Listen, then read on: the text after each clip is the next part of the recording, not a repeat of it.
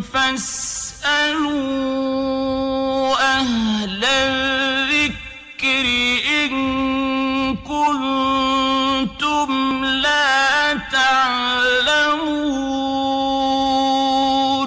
الحمد لله والصلاة والسلام على نبينا محمد وعلى آله وصحبه أجمعين وبعد.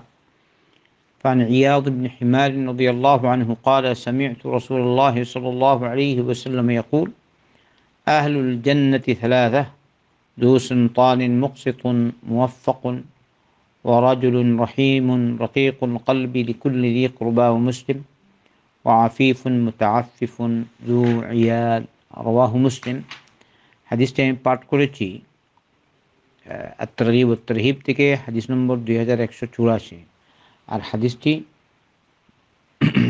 বর্ণনা হয়েছে হাদিসটির বর্ণনা হয়েছে সহি মুসলিমে ইয়াদ বিন হিমার রদিয়াল্লাহু বলেন আমি আল্লাহ রসুন সাল্লাহ ইসলামকে বলতে শুনেছি তিন ব্যক্তি হলো জান্নাতি জু সুলতান মুকসিদ মুয়াফক ওই ব্যক্তি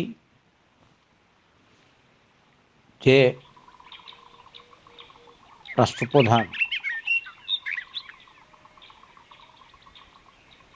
অথবা বিচারপতি সবের মধ্যে সামিল দায়িত্বশীল, বড় দায়িত্বশীল। এর মধ্যে মেন হচ্ছে রাষ্ট্রপ্রধান। তারপরে ওই লেভেলে যত একদম ছোট পর্যায়ে সে আসবে, যার দায়িত্ব ভার রয়েছে, যার, যাকে আল্লাপা কিছুটা হলেও কর্তৃত্ব দিয়েছেন দুসুন পান মুকসিদ যে ন্যায় আচরণ করে, ন্যায় বিচার করে মুয়াফাক আর আল্লাহর পক্ষ থেকে তৌফিক লাভ করেছে। তাই আপনি যদি প্রধানমন্ত্রী হন জনগণকে সমানভাবে আপনাকে দেখতে হবে? ন্যায় আচরণ সকলের সাথে করতে হবে। কেউ আপনার হয়ে গেলে শুধু আপনি তাকেই দেখবেন, অন্যকে দেখবেন না, এটা যেন না হয়। যে আপনার দলের, তাকেও তাকে যেভাবে দেখবেন, যেভাবে বিরুদ্ধ, ওদের, ওকেও সমানভাবে দেখবেন। এটা হলো আদল ও ইনসাফ। বেশ কম করে না।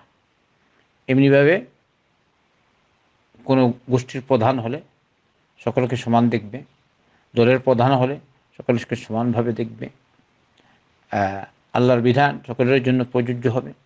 একজনের উপর আল্লাহর বিধান আরোপ করল বা জারি করল, আরেকজনকে ছেড়ে দিল, এটা হয় না। এরপরে অংশ রাজুলুন রাহিমুন রহিকুল কালবি রি কোরবা রিকুল্লি রি কোরবা ও মুসলিম। ওই ব্যক্তি যে দয়াশীল মনটা তার নরম। প্রত্যেক আত্মীয় স্বজনের ক্ষেত্রে এবং মুসলমানের ক্ষেত্রে, সে জান্নাতি। যে নরম দিল সম্পন্ন, নরম অন্তর প্রত্যেক মুসলমান আর আত্মীয় স্বজনের ক্ষেত্রে, এমনিও সে দয়া আসে সুহান আল্লাহ সে হচ্ছে জান্নাতি। তাই আমাদের উচিত হলো আমরা যে যে অবস্থানে থাকি মানুষের প্রতি, আল্লাহর সৃষ্টির প্রতি দয়াশীল হব মন থাকবে নরম, মন গরম থাকবে না। কারও উপর কেউ জুলুম করবে না। জুলুম থেকে দূরে থাকবে।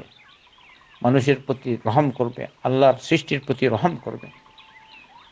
যদি কারণ দিয়ে গুণ থাকে, মোহাম্মদ সাল্লাম বলছেন, সেই জান্নাতি। আরেকটা হলো আফিফ মতো আফিফ জু ইয়ার ওই ব্যক্তি যে নিজের সতীত্ব রক্ষা করে, সতীত্ব রক্ষা করি, রক্ষাকারী। আফিফ নিজের সতীত্ব রক্ষা করার জন্য সবসময় সচেষ্ট থাকে। দু ইয়ার আর নিজের বাচ্চা কাচ্চা সন্তানাদি রয়েছে।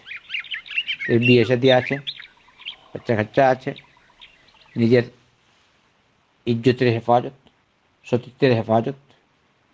আল্লাহ নাফরমানি থেকে বেঁচে চলে।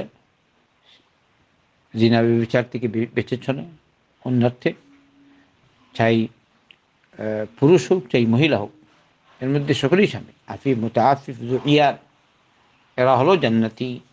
তো এবারে আমাদের দেহা উচিত, এই তিনটি গুণ কি আমাদের মধ্যে আছে? না থাকলে ওগুলো আমাদের মধ্যে ফিট করা দরকার, আমাদের মধ্যে বাস্তবায়ন করার দরকার। আল্লাহ আমাদের সকলকে তৌফিক দান করুন। ওসল্লাহু ওসাল্লাম আলা নবীনা মুহাম্মদ وعلى آله وصحبه أجمعين.